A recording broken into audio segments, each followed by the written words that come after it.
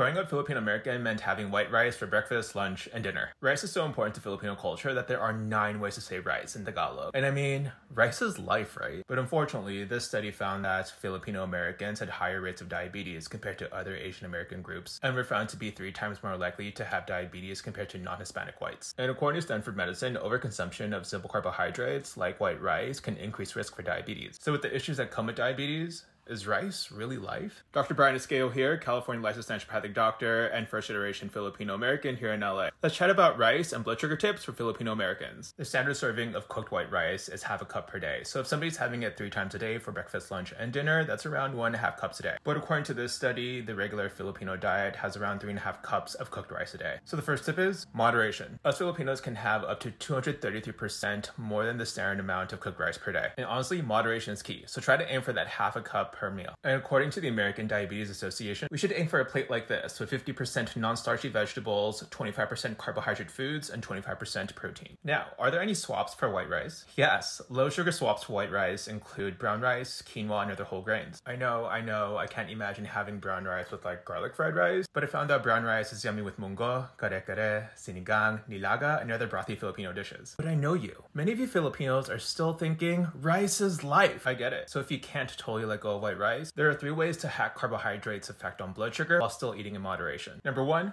cool that cooked white rice. According to this study, cooling cooked white rice for 24 hours in 4 degrees Celsius and then reheated lowered glycemic response compared to freshly cooked white rice. Tip 2. Eat your veggies. According to the study, eating vegetables first and carbohydrates last supported post-meal blood sugar response. Number 3. Vinegar. Filipinos love their suka or vinegar, so this might not be hard. According to the study, having around 2 to 6 tablespoons of vinegar with meals supported healthy blood sugar response after eating carbohydrates. Okay, I have one last tip. Let's get walking, guys. According to this study, going on a 20 minute walk right after eating supported post meal blood sugar response. I know that was a lot, so you can find the Clip Notes version down the caption below with references.